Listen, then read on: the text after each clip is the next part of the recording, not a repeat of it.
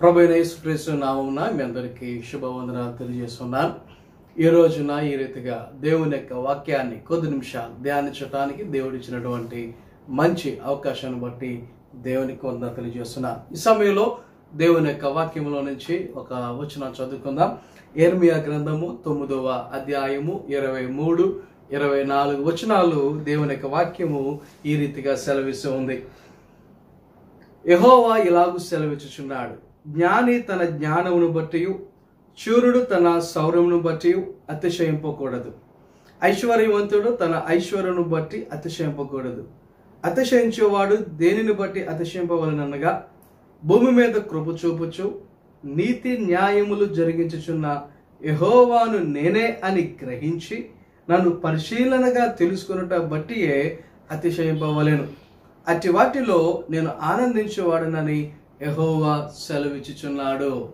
చదవడినటువంటి వచనాన్ని కనుక మనము గ్రహించినట్లయితే దేవుడు సెలవిచ్చుచున్నటువంటి మాట.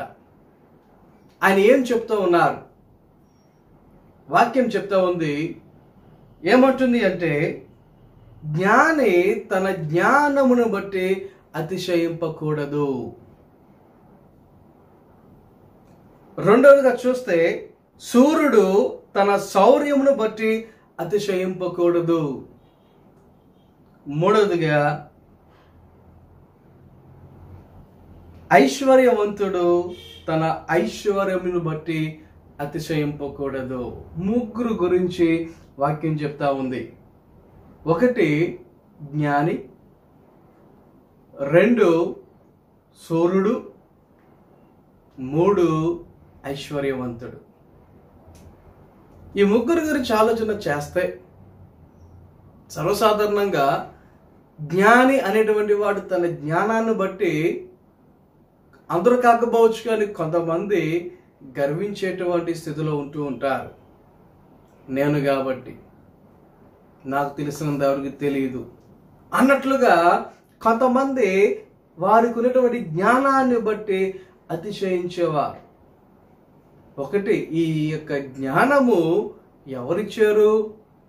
కొంతమంది అనుకుంటారు నేను చదివాను కష్టపడ్డాను నేను అన్ని తెలుసుకున్నాను అందుకనే నాకు జ్ఞానం వచ్చింది అనుకుంటారు. అయితే ఈ జ్ఞానము దేవుని వలన వచ్చింది అని గ్రహించేవారు ఎంతమంది ఉన్నారు? అలాగే వాక్యంలో చదువుతున్నాం సూర్యుడు అనగా బలవంతుడు. ఈ సూర్యుడు అనేటువంటి వాడు లేకపోతే బలవంతుడు అనేటువంటి వాడు తన బలాన్ని బట్టి అతిశయించేవాడుగా ఉన్నాడు అని వాక్యం చెప్తా ఉంది. అలా చేయొద్దు. కారణం ఏమిటి అంటే ఈ లోకములో మనం ఎంత బలవంతులమైన ఎంత సూర్యులమైన ఎంత ఆరోగ్యవంతులమైన ఒక విషయాన్ని తెలుసుకోవాలి. ఈ యొక్క ఆరోగ్యము లేకపోతే శక్తి లేకపోతే బలము ఇది దేవుని వలన మనకు వచ్చిందే తప్ప మనంతట మనకి రాలేదు. ఒకటి టీవీలో అడ్వర్టైజ్మెంట్లు చూస్తూ ఉంటాం. బూస్ట్ తాగండి బార్నవెట్ తాగండి హార్లిక్స్ తాగండి స్కేల్లో పెట్టి చూపిస్తారు. మీ పిల్లడు ఇంత ఉంటే ఇంత అయిపోతాడు అన్నట్టుగా చూపిస్తూ ఉంటారు. అయితే ఒకటి మనం తినేటువంటి తిండి వలన ఆరోగ్యం వా- రావడం అనేది వాస్తవమే నేను కాదనను.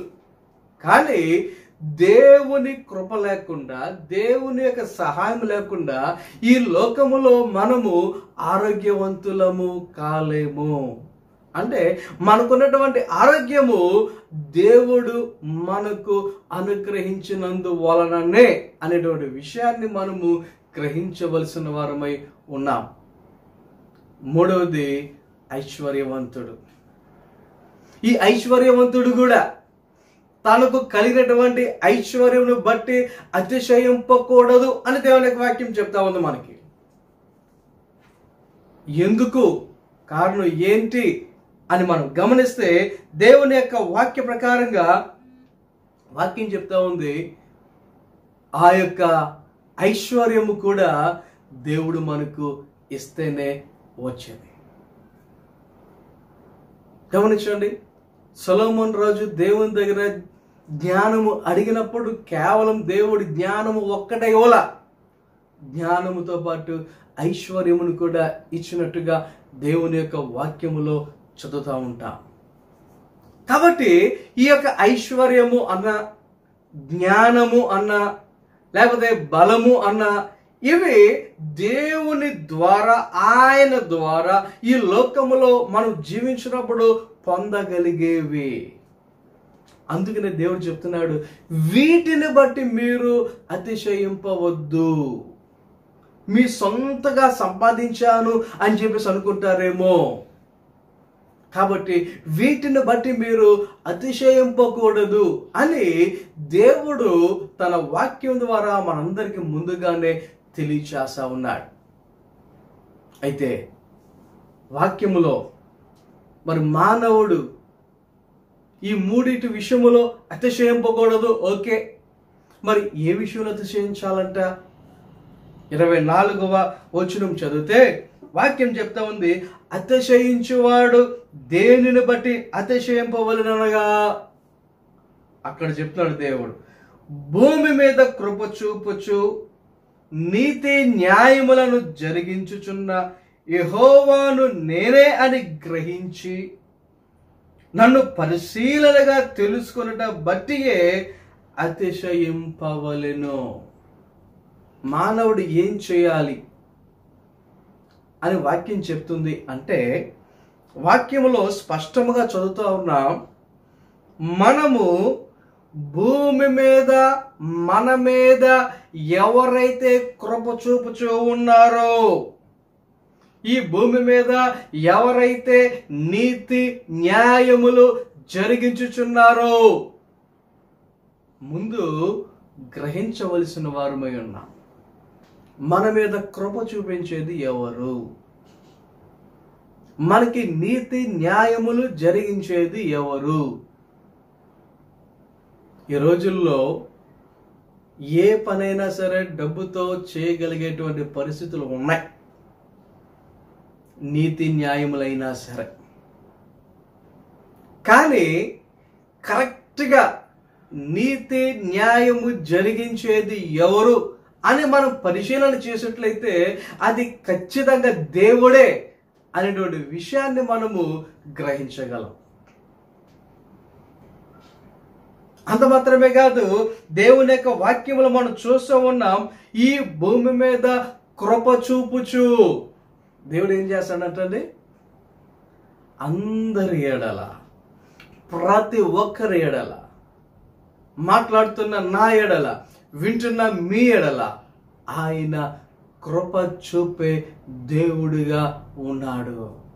ఆయన మన ఎడల కృప చూపుచున్నటువంటి వాడిగా జాలి దయ కరుణ చూపించేటువంటి దేవుడుగా ఉన్నాడు. ఆయన కృపను బట్టే ఈ రోజుకి కూడా మనం సజీవులుగా ఉన్నాం. ఆయన కృపను బట్టే ఈ రోజుకి కూడా మనం ఇంకా మంచిగా ఉంటూ ఉన్నాం. ఆ కృపే లేకపోతే మన పాపములు బట్టి మనం ఎప్పుడో నశించిపోవలసినటువంటి పరిస్థితి ఉండేది. ఆలోచన చేయండి. అయితే వాక్యం చెప్తా ఉంది మన ఎడల కృప చూపుచున్నటువంటి ఆ దేవుని విషయంలో. అంత మాత్రమే కాదు ఇంకా ఏం చెప్తుంది దేవుని యొక్క వాక్యం అంటే మరి ఆ, దేవుని యొక్క వాక్యంలో కనబడుతుంది నీతి న్యాయములు జరిగించుచున్న యహోవాను నేనే అని గ్రహించి ఈ రోజుల్లో ఉన్నటువంటి పెద్ద సమస్య ఏంటంటే ఈ గ్రహింపు అనేది చాలా మందిలో లేకుండా పోతూ ఉంది. చాలా మందిలో గ్రహింపు లేకుండా పోతా ఉంది. ఏదో ప్రతిరోజు రోజు గడిచిపోతుంది కదా. ఏం పర్వాలేదు నా బతుకు జరిగిపోతుంది కదా. ముందు కొనసాగుతుంది కదా అనేటువంటి భ్రమలో పడిపోయి ఎవరు దీనంతటికి కారణం ఎవరు అనేటువంటి గ్రహింపు లేకుండా ఈ లోకములో ఇష్టానుసారముగా జీవించేటువంటి వారు ఎంతో మంది ఉన్నారు. ఆలోచన చేయండి. గ్రహించవలసిన వారమే ఉన్నారు మన దేవుడు మన మీద కృప చూపుచున్నాడని గ్రహించవలసిన వారమై ఉన్నాం. మన దేవుడు నీతి న్యాయములు జరిగించే దేవుడని గ్రహించవలసిన వారమై ఉన్నాం. అంత మాత్రమే కాదు దేవుని యొక్క వాక్యం చెప్తా ఉంది. గ్రహించి నన్ను పరిశీలనగా తెలుసుకొనుటను బట్టియే. ఏం చేయాలంటండి దేవునిని తెలుసుకోవాలంట. ఎలా తెలుసుకోవాలి? పరిశీలనగా. పరిశీలించి తెలుసుకోవాలి. ఏదో ఎవరో చెప్తే మనకు సరిపోయింది ఎవరో చెప్తే మనం వినేసాం అని నాకు తెలిసిపోయింది అనడం కాదు. ఈ రోజులు అనేక మంది ఏదో చర్చ్కి వెళ్ళాను వాక్యం వినేశాను వాక్యం చాలా బాగా చెప్పేశారు మా పాస్టర్ గారు. అని చెప్పేసి అనుకుని నాకు వాక్యం తెలుసు అనేటువంటి భ్రమలో ఉంటూ ఉన్నారు అనేక మంది. కానీ దేవునిని ఎలా తెలుసుకోవాలి అని వాక్యం చెప్తుందంటే ఏదో చెప్పినటువంటి మాటలు విని తెలుసుకోవడం మాత్రమే కాదు ఎవరికి వారే వ్యక్తిగతముగా పరిశీలనగా తెలుసుకోవలసిన వారే ఉన్నారు అని దేవుని యొక్క వాక్యం మనకి స్పష్టముగా తెలియచేస్తా ఉంది. ఆలోచన చేయండి. ఈ యొక్క వాక్యం ఇచ్చినటువంటి మీరు దేవునిని అట్టి రీతిగా వ్యక్తిగతముగా మీ అంతటా మీరే పరిశీలనగా తెలుసుకోగలుగుతూ ఉన్నారా? ఆయన కృప చూపే దేవుడని ఆయన నీతి న్యాయములు జరిగించే దేవుడని మీరు పరిశీలనగా తెలుసుకోగలుగుతూ ఉన్నారా? దయచేసి గ్రహించండి. మనము ఆ రీతిగా దేవునిని పరిశీలనగా తెలుసుకోవలసిన వారమై ఉన్నాము అని దేవుని యొక్క వాక్యం చెప్తుంది. అలాగ తెలుసుకొని దానిని బట్టి మనము అతిశయించేవారుగా ఉండాలి. అవును నాకు దేవుడు తెలుసు.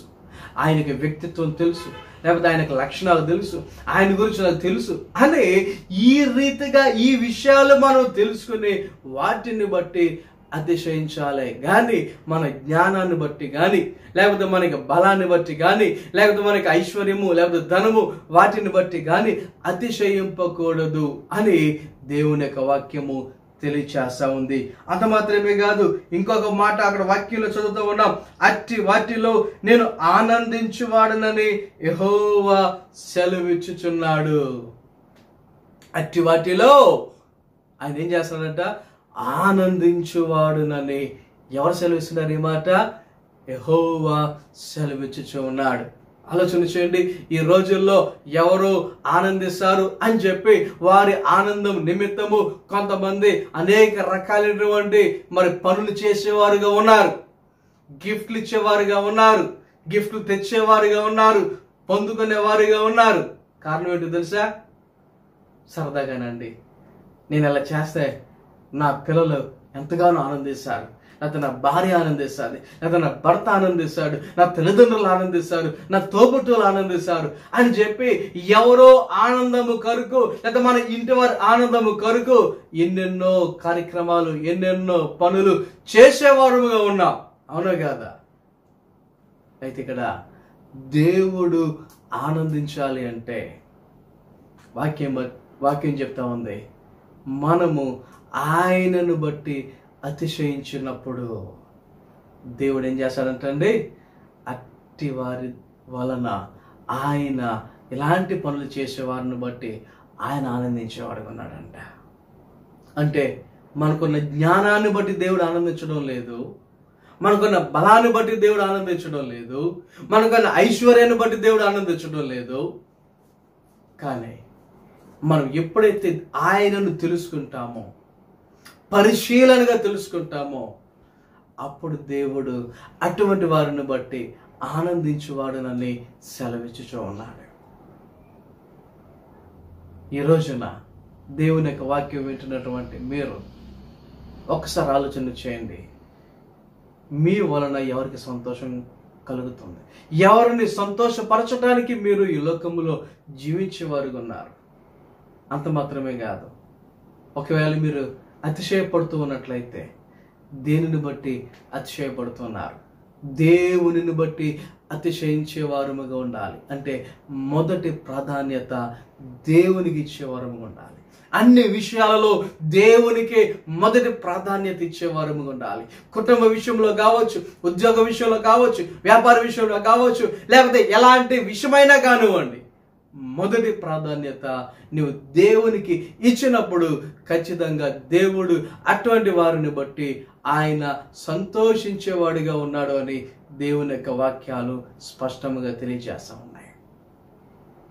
ఈ సమయంలో ఈ యొక్క చదవబడిన వాక్యంలో ఒక మాట మన దేవుడు ఎలాంటి వాడు అంటే ఆయన కృప చూపే దేవుడు అని ఒక మాట చదువుతూ ఉన్నాం. రెండోదిగా నీతి న్యాయములు జరిగించు దేవుడు అని చదువుతూ ఉన్నాం. ఓకే. నీతి న్యాయములు జరిగించే దేవుడు అన్నప్పుడు కొంతమందికి ఒక అనుమానం రావచ్చు. ఏమండి? ప్రస్తుత పరిస్థితుల్లో దేవుడు ఎందుకని ఇంకా కాముగా ఉన్నాడు అని అనుకోవచ్చు కొంతమంది. కారణం ఏంటంటే ఇప్పుడు ఎక్కడ చూసినా కరోనా. ఏ దేశంలో చూసినా కరోనా. ఏ వ్యక్తి నోటి మాట వెంట విన్న కరోనా? మరి దేవుడు నీతి న్యాయములు జరిగించేవాడు అంటే ప్రస్తుతం ఈ ప్రపంచంలో అన్ని దేశాలలో ఎందుకు ఇది వచ్చేదిగా ఉంది?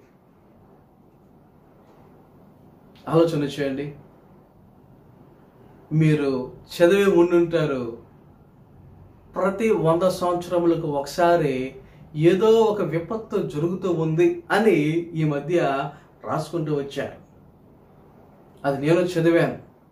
పదిహేడు వందల ఇరవయో సంవత్సరంలో ఒక రకమైనటువంటి ప్లేగు వ్యాధి వచ్చింది.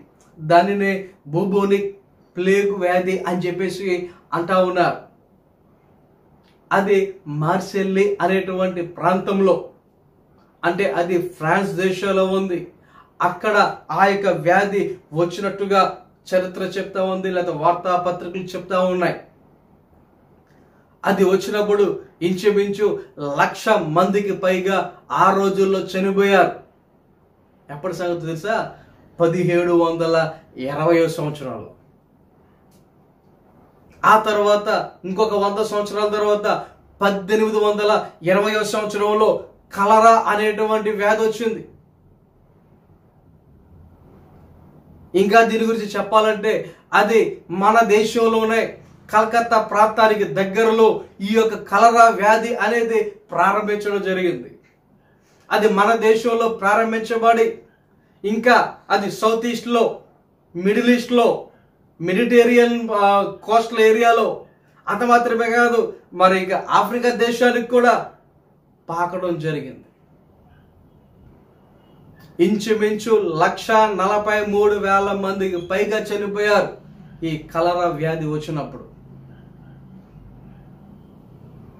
తర్వాత పంతొమ్మిది వందల ఇరవై సంవత్సరంలో మరొక రకమైనటువంటి వైరస్ వచ్చింది. దానినే స్పానిష్ ఫ్లూ అని చెప్పేసి అంటా ఉన్నారు.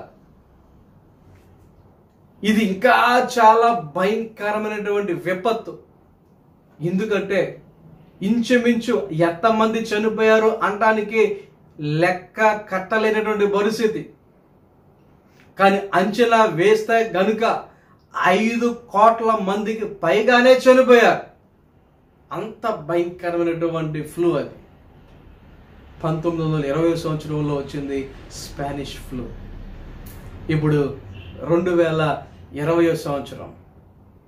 ప్రపంచంలో ఏ దేశంలో చూసినా ఏ దేశంలో దేని గురించి మాట్లాడదామన్నా ప్రస్తుతం ఒకటే ఒక మాట కరోనా.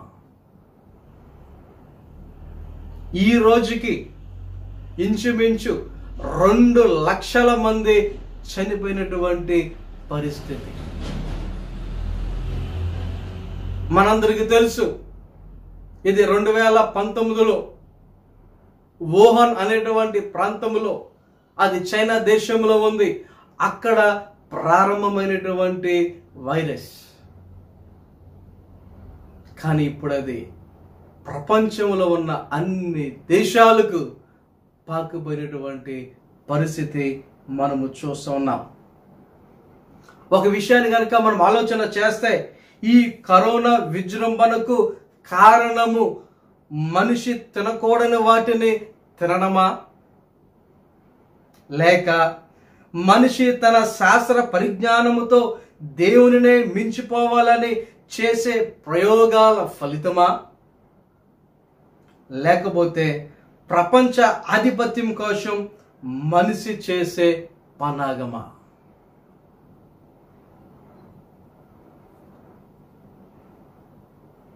ఇది మనిషి యొక్క అపరాధమో కాదో మనకు తెలియదు కానీ దేవుడైతే దానిని అనుమతించాడు. అందుకనే ఈ లోకములో అన్ని దేశాలలో ఈ వైరస్ అనేది పాకుపోతూ ఉంది. విజృంభిస్తూ ఉంది. గమనించండి. దేవుని యొక్క బిడులుగా మన యొక్క జీవితాలలో మనమందరం అనుకోవచ్చు ఇప్పటి వరకు ఇలాంటి ఘోరమైన విపత్తు మేము చూడనే చూడలేదండి అని అనుకోవచ్చు. నిజమే. మన కాలంలో ఇలాంటి విపత్తు జరగక ఉండొచ్చు. కానీ ఇప్పుడు జరుగుతూ ఉంది. దేవుని యొక్క బిడులుగా కొంతమంది ధైర్యంగా ఉండే వాళ్ళు కొంతమంది భయపడుతున్న వారు కొంతమంది. ఏ క్షణాన్న ఏ రకంగా ఎవరి ద్వారా అది మనకు వస్తాదో తెలియనటువంటి పరిస్థితి. బిక్కు బిక్కుమంటూ ప్రతి ఒక్కరు వారి ప్రాణాలను వారి గుప్పెట్లో పెట్టుకొని బ్రతుకుతున్నటువంటి భయపడుతున్నటువంటి పరిస్థితులు ఈ రోజులు. ఆలోచన చేయండి. ఎవరి నోట విన్నా కరోనా కరోనా కరోనా.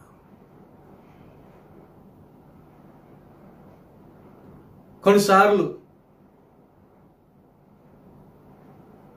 కొంతమంది పిల్లలను కూడా కరోనా అని చెప్పేసి బయటికి వెళ్తే కరోనా అని చెప్పి భయపెడుతున్నారు. కొంతమంది జడిచిపోతున్నారు కూడా. ఆలోచన చేయండి సార్ ప్రస్తుత పరిస్థితులు ఎలా ఉన్నాయంటే మాస్క్ లేకుండా బయటికి వెళ్ళలేని పరిస్థితులు. ఎవరైనా మనకు ఎదురుపడినప్పుడు వారికి షేక్ హ్యాండ్ ఇవ్వలేనటువంటి పరిస్థితి. షేక్ హ్యాండ్ ఇవ్వకపోవడం సరికాదు కదా. ఇంచుమించు రెండు మీటర్ల దూరం నుంచోవలసిన పరిస్థితి. ఆలోచన చేయండి సార్.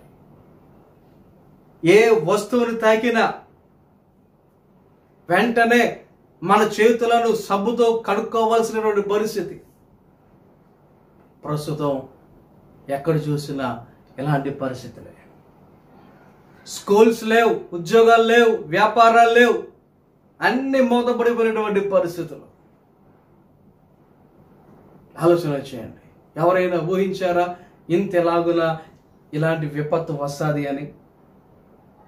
స్టాక్ మార్కెట్లన్నీ కూలిపోయినటువంటి పరిస్థితులు. పతనమైపోయినటువంటి పరిస్థితులు. మన దేశంలో లోకల్ ఎయిర్పోర్ట్స్ కూడా తెరుచుకోలేనటువంటి పరిస్థితులు.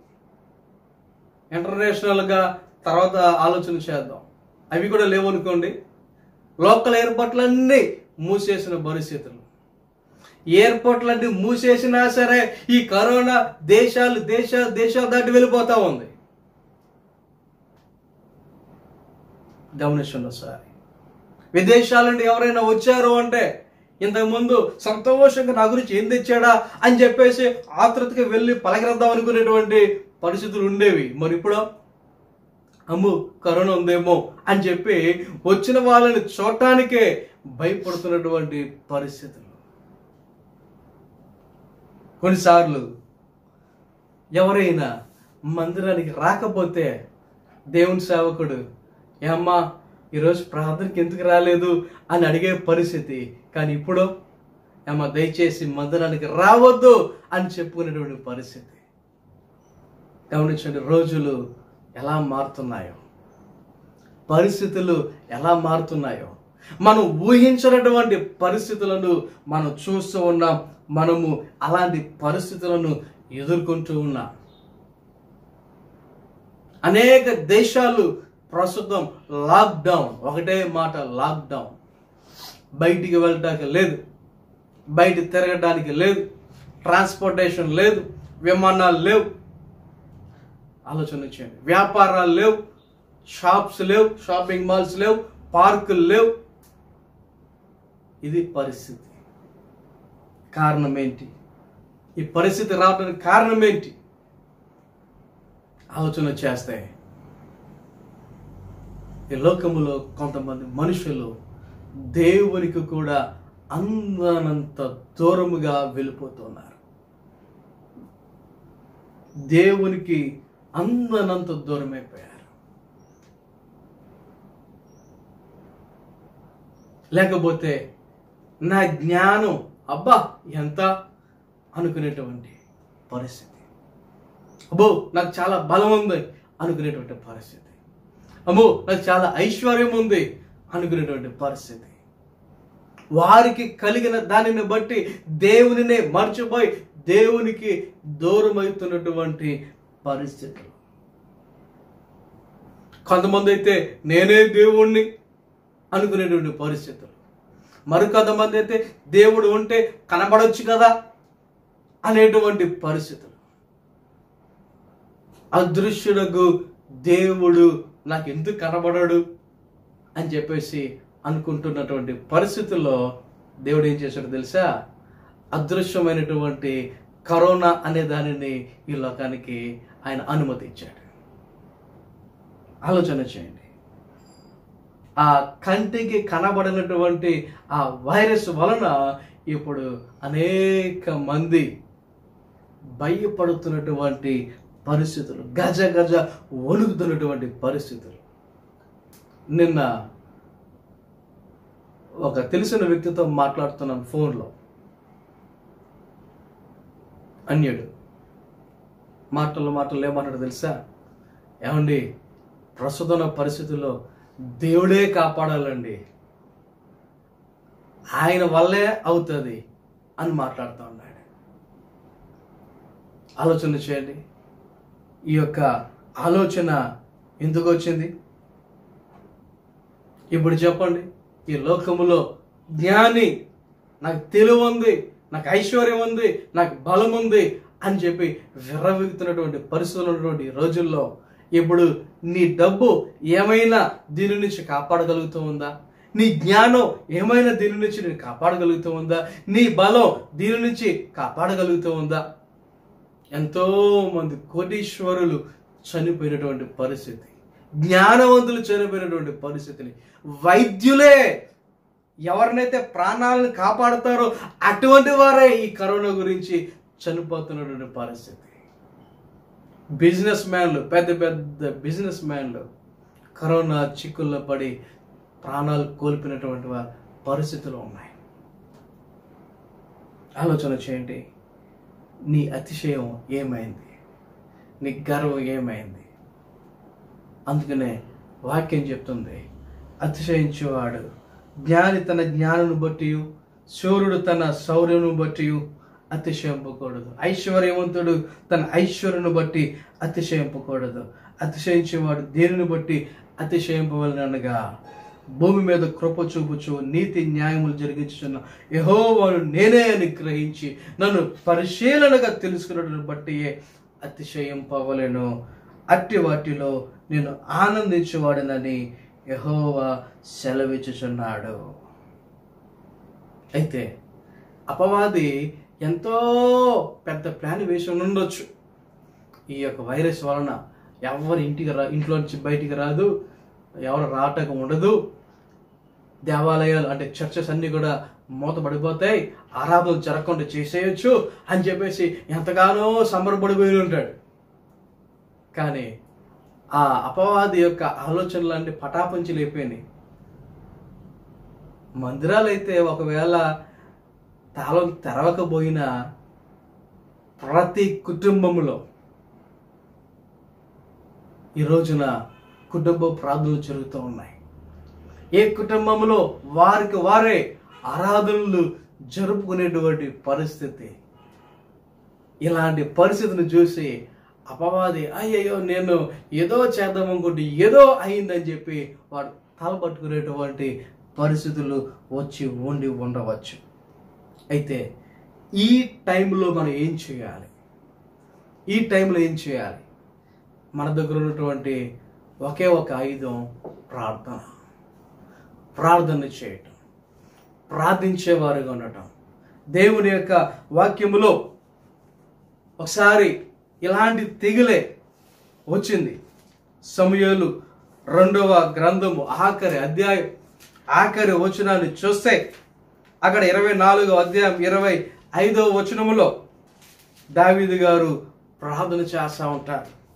ఆయన ప్రార్థన చేసినప్పుడు జరిగినటువంటి సంఘటన ఏంటి అని మనము దేవుని యొక్క వాక్యంలో మన ఆ యొక్క వచనాన్ని కనుక చదివినట్లయితే వాక్యం చెప్తా ఉంది. ఎప్పుడైతే అక్కడ దావీది యహోవ నామమును ఒక బలిపీఠము కట్టించి దహన బలులను సమాధా సమాధాన బలులను అర్పించాను యహోవ దేశము కొరకు చేయబడిన విజ్ఞాపనలను ఆలకింపగా ఆ తెగులు ఆగి ఇస్రయేలీలను విడిచిపోయెను.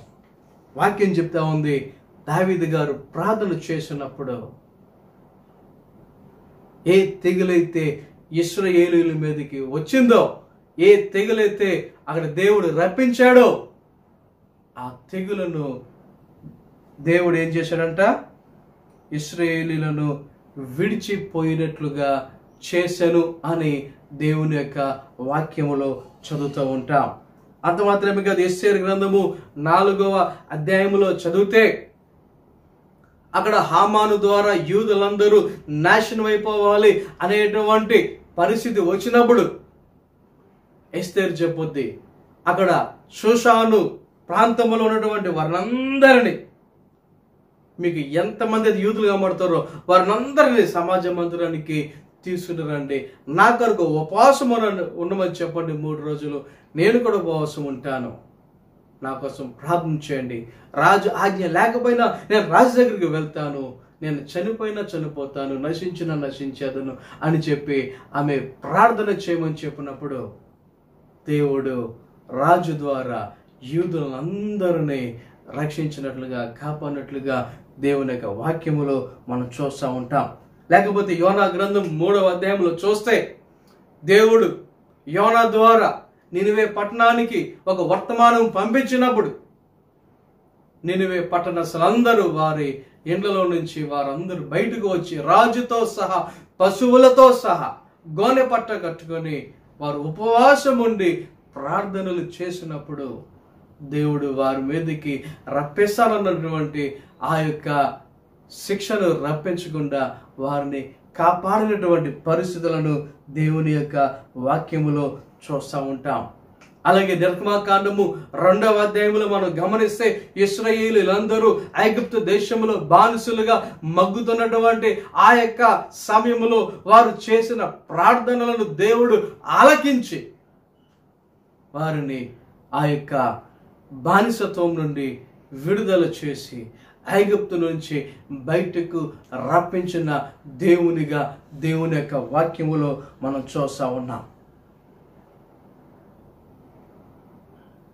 ఈ చెప్పబడిన ఉదాహరణలకు జవాబు రావటం గల కారణం ప్రార్థన. ఈ పరిస్థితుల్లో మనము కూడా ప్రార్థించే వారముగా ఉండాలి. ప్రార్థన చేసే వారముగా ఉండాలి. మరి ముఖ్యముగా ఈ పరిస్థితుల్లో కొంతమంది అందరికన్నా ఎక్కువ రిస్క్ తీసుకుని మరి వారి ప్రాణాలను సహితం పక్కన పెట్టి పనిచేస్తున్నటువంటి వారు ఉన్నారు. వారిలో ముందుగా వైద్య శాఖకు సంబంధించిన వారు. రెండవదిగా పోలీస్ డిపార్ట్మెంట్ వారు. మూడవదిగా పరిశుద్ధ కార్మికులు. వీళ్ళు వాళ్ళ యొక్క ప్రాణాలను సహితం లెక్క చేయకుండా ఎంతో అంటే ఎంతో వారు వారి బాధ్యతగా పనులు చేస్తున్నారు. వారి కొరకు ప్రత్యేకంగా మనం ప్రార్థన చేయవలసిన వారమై ఉన్నాం. మరి ముఖ్యముగా ఇలాంటి పరిస్థితుల నుండి మనం బయటపడాలి అంటే మనము కూడా ప్రార్థించవలసిన వారమై ఉన్నాం. దేవుని గురించి తెలుసుకొని గ్రహించి పరిశీలనగా తెలుసుకొని అతిశయిస్తే దేవుని బట్టే అతిశయించు కానీ మరి దేనిని బట్టి నువ్వు అతిశయించకుండా?